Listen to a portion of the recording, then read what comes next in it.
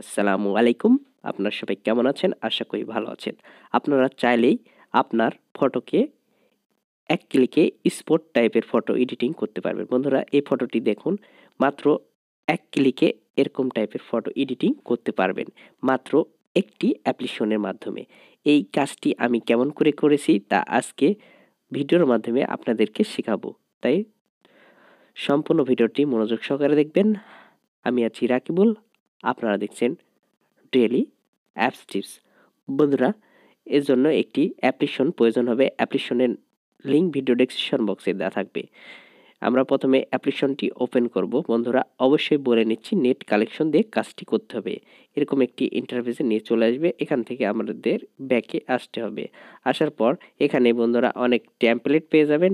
Just touch করবেন এবং কাজটি করবেন।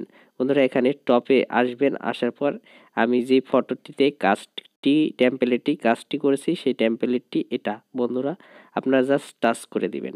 টাচ করে দেওয়ার পর এখানে আপনারা পেয়ে যাবেন আপনার অল ফটো এখান থেকে আপনারা গ্যালারির অল ফটো পেয়ে যাবেন। আপনারা যে ফটোটিতে লাগাতে চান, সেই ফটোটি জাস্ট এখানে ইনপুট করে নেবেন।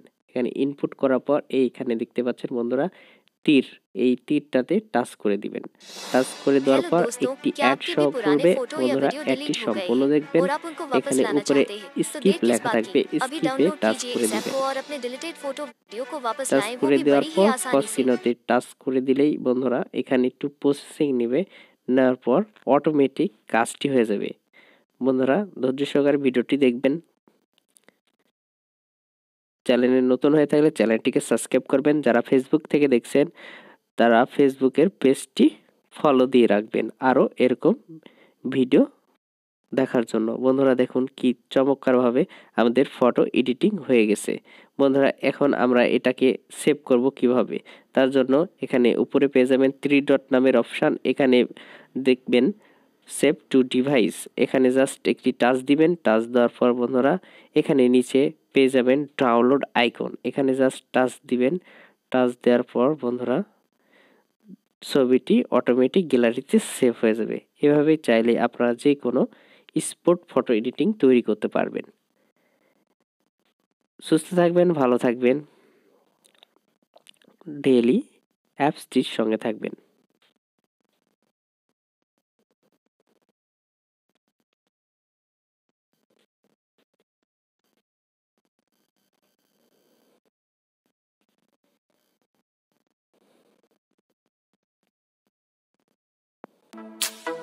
Hello.